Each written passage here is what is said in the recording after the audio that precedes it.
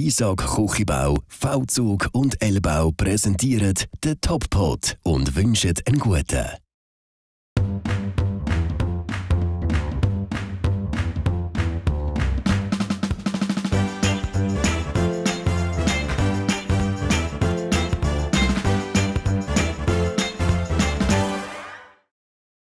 Recht herzlich willkommen zu der heutigen Kochsendung Top Pot. Heute gibt es Jakobsmuscheln im Chorizo-Mantel. Dazu gibt es eine Peperonate und ein wunderbares Risotto mit Safran. Und Vinothek Grand Reserve aus Winterthur hat uns einen wunderbaren spanischen Weißwein dazu empfohlen. Und mein heutiger Gast ist schon da. Das ist der Ralf von Niederhäusen. Du bist Küchenchef im Juicy's Restaurant und Palaverbar in Namriswil. Herzlich willkommen. Grüezi wohl. Schön, dass du da bist. Wollen wir gleich loslassen? Unbedingt. Hä? Willst, was hast du gesagt? Du fährst mit dem Risotto Risotto an? fangen wir an. Welchen machst du da oder da den Risotto? Das ist gut. Das ist schon gut. Ah, ja, dann machen wir gleich. Das ist gut. Bei Ja, ja, brauche ich ein bisschen weniger Platz. Nachher. So.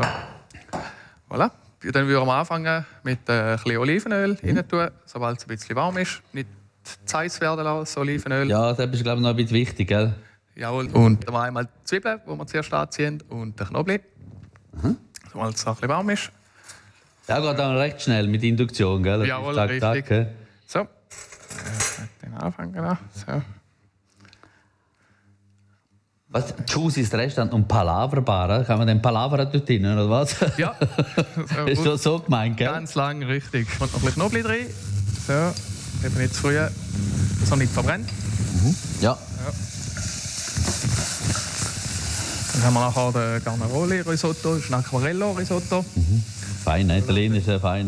gut. Jawohl, ist äh, wie, fast wie ein Vollkornrisotto, weil er äh, den Keimling wieder zurück ins Korn rein. Und darum ist er sehr hochwertig. So. Ja, geh noch ein bisschen zurück, nicht, dass dir das verbrennt. Da, so, dann wir den auch ebenfalls klassisch anziehen. So, dann werden wir noch den Safran dazugeben. Ja. Jetzt hast du da zum Beispiel Safranfette, hä? Jawohl, wir haben ein bisschen Fäden. So. Jetzt ist ja, glaube ich, auch wichtig beim Risotto, zum auch wieder mal sagen, eben, schön glasig andünsten, gell? Genau. Dass wirklich ein bisschen die, die, das aufgeht und, und das Stärke rauskommen kann. Gell? Richtig, genau. Dass es wirklich einen schönen Glanz hat. Sobald er da hat, kann man mit dem Weißwein ablöschen. So. Aber auch Risotto, es gibt so wenig Leute, äh, die das nicht gerne haben. Der Risotto haben schon viele Leute gerne, gell? Ja, es ist auch ein fantastisches Gericht, auf jeden Fall. Ja. ne? Dann ich jetzt da den Hühnervorne, den wir gemacht haben. Den kann man so auffüllen, dass es knapp bedeckt ist, jeweils. Noch gut im Rühren, ständig gut, gut pflegen natürlich, immer Ja, rühren. bisschen. Dann Äh. den können wir jetzt schon nebenbei laufen lassen. Ja. Dann nehme ich die zwei Peponi, so, rot und gelb. Mhm. So, eine schöne Farbe haben. ja wenn, das darfst du da drauf, das ist bitte. noch von der Fisch. Dann. Gut, super. So, la. Voilà, so. Ja, ist- aber ihr- eben, ihr sind ja, das heisst, ein Juicy's Restaurant, da muss man ja fast ausgehen, dass es ein italienisches Restaurant ist. Aber das ist ja nicht reine Pizzeria-Pasta, das eben nicht. Nein, oder? überhaupt nicht. Wir sind jetzt gerade momentan ein bisschen spanisch angehaucht sogar. Mhm. Wir haben auch das Gericht jetzt mit dem Chorizo Ja, äh, ein bisschen rausgehört. So. Und eben, das, sind so bisschen, das gehört auch zu euren Spezialitäten, so, die ihr macht. Das haben wir momentan auf der Karte, richtig, Ja. ja. Schön, hä?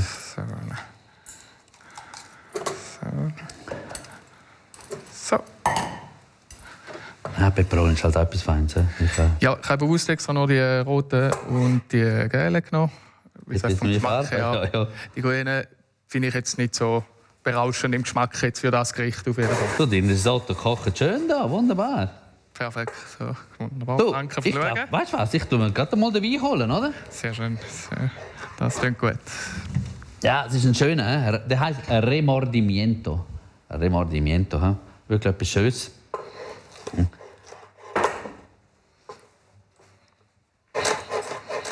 Hm, Das schmeckt doch fein, das schmeckt schon. Das Risotto wird wunderbar.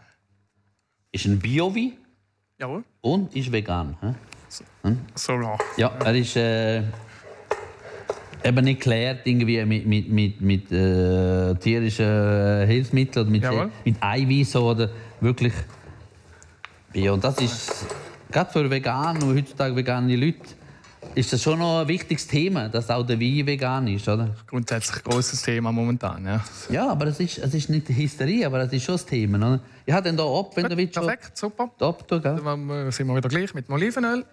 Dann wir nicht, es heiß wird.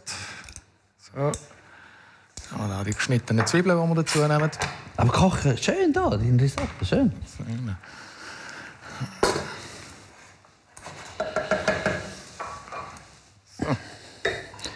Hat der Wein, glaubst nicht, ist ein Weißer und hat sogar einen Barrikausbau gehabt. hm? Ja. Ja, wirklich ganz etwas Feines. Wirst du den sehen? Da wir aber gleich noch. ein bisschen- Du kannst schon an, an, ich anziehen, ja. Und und dann lassen wir Ja. uns ein paar Sekunden noch schnuppen. Ich finde, das ist dann schon schade bei so einem Barrikwein. So, dann haben wir die Zwiebeln schön anziehen. Ja. Dann, äh, sobald wir ein bisschen Zwiebeln ein bisschen glasig haben, tun wir einfach Bohnen rein, dann auch noch ein bisschen kurz Aber gibst keine. Farbe, hä?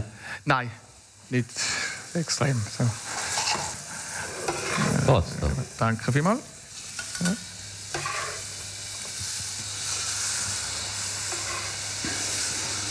Von dem Wein gibt es natürlich auch rote. Hä? Genau, Aldo. Das wäre dann der Remordimiento Tinto. Eigentlich fast gleich. Das ist dann auch, aber das ist eine äh, Assemblage mit, mit äh, Tempranillo, Shiraz, Sauvignon, Petit Verdot. Den hat eine andere Traubensorte drin. Also eben- der rote von dem ist eine Assemblage. Und jetzt Gut. können wir schnell probieren. Super, danke schön. Genau, zum Wohl. Zum Wohle. Schön, dass du da bist. Danke dafür, dass ich hier komme. So. Uff, der kommt gut in die Nase. Hä?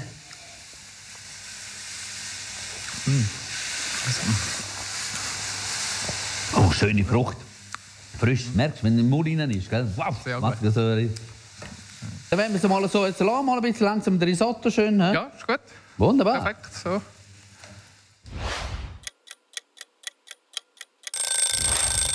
Sind wir soweit? Ja, okay. Gut, dann braucht noch drei, vier Minuten. Dann tun wir jetzt noch einmal es über. kommen? Ja, Sehr genau. gern. Und dann ist da über so ein paar Flammen. Hä? So, Oh ja, oh ja, schön. können noch fertig machen? Jetzt da Peperonate haben wir mit Weisswein abgelöscht. Jetzt tun wir noch die Tomatensauce drin. Ja, Äh, ganz normale so äh, Ja. Tomatensauce, oder? das Haushöschen, das wir gemacht haben. Ja, Quasi. mit Zug oder so ein bisschen so. Genau. So. So, Ja. Ja, das ist ja schön, hä? wenn du so, so langsam laufen kannst, kann auch nicht viel passieren, gell? Genau, das kann man wirklich kurz bevor anrichten noch entfertigen mit dem Parmesan und der Butter. So, Ich hätte es noch gerne, so die Peperonate. Das ist, das ist wirklich etwas Feines. Hä? das ist so, Ja. richtig. So. Die vor allem die Farben gefallen mir sehr. Und jetzt kommt eigentlich der, Der Höhepunkt, oder? Richtig, genau. Muscheln. Da Ja, man wir unsere nehmen- Jakobsmuscheln. Nehmen wir auch drüber, Ja, kann ich da auch noch bisschen einschalten. Dann sehen wir dich gut dort. Wunderbar. Dann nehme ich die Jakobsmuschel an. Das ist keine komplizierte Sache jetzt da momentan. Ja. Da hat man auch noch Chorizo in Streifen geschnitten. So. Dann äh, das einfache Warte, Geschichte. gib dir das an. Dann kannst du vielleicht auch Super. auf dem Brettchen machen. Da ein bisschen. Perfekt, danke schön. Dann nehmen wir die Chorizo auf die Brat legen. So. Je nach Größe der Jakobsmuscheln nehmen wir irgendwo zwischen drei bis fünf Stück. Ja, ja. Das ist jetzt, äh, Je nachdem, gell? So, die rollen wir jetzt ein in Ja. Chorizo. So, das ist eine einfache Geschichte. Die wir einfach so einrollen. Mhm. Damit dann das Chorizo-Mäntel auch hebt, wir es gerade jeweils aufspießen. Dort, wo es Ja, da können wir ja mehrere machen. Machst du wir gleich mehrere miteinander? Genau richtig, ja. So, la. Also, es gibt schon noch einen coolen Geschmack. oder? Der Chorizo ist dann auch noch ein bisschen pikant, oder? Natürlich, Jawohl, man kann äh, einen milden, einen pikanten würde ich jetzt sehr dazu empfehlen. Ja. So, Muss ich nicht jeden Tag essen, oder? aber so mal ein Jakobsmüschli ist schon fein. He? so. Eben auch, auch Safran, eben so Safran-Schumsösli passt aber schon noch schön dazu. Jetzt wie du auch Safran-Risotto, gell? Richtig, genau. So, jetzt haben wir den ersten Speisbad. Du kannst machen, nur der, der lange schon. Gut, alles Ja, ja. klar. Super. Dann, äh, wichtig ist, dass, äh, dass wir heiße Pfanne haben, oder in dem Fall jetzt die Platte, dass sie Ja, heiß ist. Ta- Teppanyaki oder so, das ist natürlich super gut so, oder? Mach noch. Genau, ist mir gelernt worden, dass man es nicht soll salzen, Ja. aber nicht zu stark, weil sie schon im Salz hinein leben. So. Hopp. Schön geworden jetzt, hä? So, Schön Bier, ein bisschen, nachgezogen. Warte, ich nehme noch mal ein bisschen. Flüssigkeit müssen wir noch angeben. Cool. Ja, zuerst probieren wollen. Ja, Ja, schön, hä? für Cremigkeit. Ja. Uh. bis da die Jakobsmuscheln fertig sind. Können wir dann äh, Aber die gehen relativ fertig. schnell, gell? Die gehen fix, jawohl, richtig. Es ist wirklich darum auch wirklich scharf anbraten. Das das Wichtigste, was wir schon gesagt haben, sind, dass sie nicht durch sind, nicht zu lang drauf lassen. So. Ja, dann schauen wir mal die sind aber schon bald gut. Ja. Ja. Jetzt noch einmal kehren. Ah, aber schön, jetzt mit Chorizo mal. Äh, Perfekt. Ja, so, die Goldbrünig. Ja, das schön. haben wir wenn da. ja, ja. Du hast denn da noch etwas denn zum Anrichten, habe ich gesehen, auch schon Genau, parat, richtig. ja? Söhle. Jetzt machen wir das Risotto in dieser Zeit gerade noch fertig. Wir haben es die letzten ein, zwei Minuten da köchelt. So. Zum Schluss geben wir noch schön den Butter drin. Ja, das ist schon wichtig. He? Das ist der Geschmacksgeber unter anderem im Extrem, Risotto. ne? So. Ja. Eben. Kalorien schauen wir jetzt nicht, aber ich denke eben so, äh, gell? So, wir haben ja, das ist der Vorteil, die Jakobsmuscheln sind äh, sehr hochwertiges Protein, ga- praktisch kein Fett drin. Dann können wir das auch ein bisschen mehr im Risotto ein rein. Können wir gerne rein tun. So, das klingt gut. So, perfekt, danke schön. Wow. Ja, Fast schade um den Fein, aber man sollte ja das Gericht auch mit gutem. richtig, genau. So. Aber ich, ich habe ihn noch mal probiert. Ist eine Bombe jetzt. He? Ein bisschen. Luftkeit.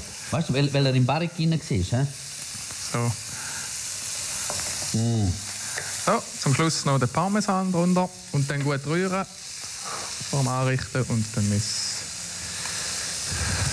so. Oh, ja, ja, ja, ja. ja. Ich habe ja richtig Hunger jetzt übergekommen.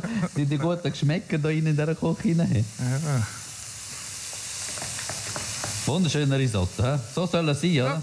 Schön fließend, cremig, jawohl. So. Glaub, dann wären wir nachher parat zum Anrichten. Dann. So. Ich habe dort den Keller schon angetan, wenn du möchtest. he? Jawohl, sehr gerne.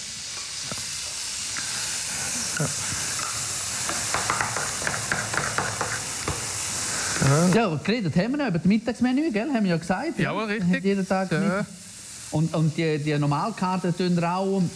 Die tun wir auch einmal wön- wöch- äh, mon- monatlich anpassen Ja. und tun die Gerichte saisonell und regional äh, gestalten auf der Karte. So ein bisschen. Je nach Saison natürlich. Wenn dann im langsam im April, Mai den Spargel kommen, dann, oder? Richtig, genau, da kommt man nicht drum herum. Ja, Ja, ja, ihr, wo wir ins Weilon sind. he? So, gut. Soll ich mal abschalten da schon, oder? Ist schon gut? Gut, ich nehme es gerade weg nachher. So, dann haben wir es bevor Da, lass ich noch bisschen, das ist gut. Gut, super, danke schön. So, Ah, das ist so auch nicht. Das ist auch schön so, hä? so. Vor allem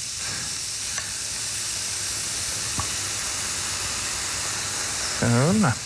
Da kommt am Schluss noch Jakobsmuscheln. Der kommt wirklich schön so, hä? So, Wie kann man jetzt schauen, dass es auch mit Druck ein bisschen, dass man merkt, dass ein bisschen Druck, gell? jawohl, es sollte nicht zwei eben, nicht zu, zu fest durch sein. Äh, ja, es darf leicht wirklich noch weich sein in der Mitte. So, Ja. na. Ja, das passt natürlich sensationell. Wow! So, la. Jetzt haben wir dann noch das eine oder andere Kern weg. So, dann haben wir da noch äh, so eine Korallenhüppe als Garnitur gemacht. Was für eine Hüppe? Eine Korallenhüppe haben wir gemacht. Korallenhüppe? Ja. Wie heißt was ist denn das? Äh, es ist eine Öl-Wasser-Mehl-Mischung, die man in der Pfanne rein okay. braten. Das ist eine reine Garnitur. Man kann Aber hat nichts mit. Korallen zu tun? Nein, Nur äh, das außer von der Optik her, genau, Ja. richtig. So, la. ja, da, so, etwa. So, la. Aha. Ja, sieht schon ein bisschen aus wie eine so Koralle. So. Und noch für Farbe. Hast du ein bisschen Thymian, oder was hast du? Richtig, genau. Ja, so. ja, ein bisschen. Mhm. Ein Touch. hä? So, Boah. Wenn du willst, darfst du es vorstellen. ja, gern. Nein, bleib, bleib gerade da, kannst du gerade so vorstellen. Ja, so. So, machen wir da ein bisschen Platz. Hey, hey, hey, hey, Ralf. so. Das sieht aber gut aus, ja? Und schmeckt auch gut. Ja. ich freue mich zum Probieren noch an. Sehr gut. Herzlichen Dank, hat Spaß gemacht. Ich kann es danken. Cooles Danke, Gericht. Riesiges Kompliment. Super. Euch weiterhin viel Erfolg im Juicy's Restaurant und Palaver Bar. He? Dir Danke auch vielmals. weiterhin gute Gesundheit. Und Ihnen daheim, liebe Zuschauerinnen und Zuschauer, viel Vergnügen beim Nachzubereiten von dem wunderschönen Gericht vom Ralf. Danke vielmals und auf Wiedersehen. Der Top-Pot ist Ihnen präsentiert worden von Bisag Küchenbau, V-Zug und L-Bau. Wir wünschen einen guten.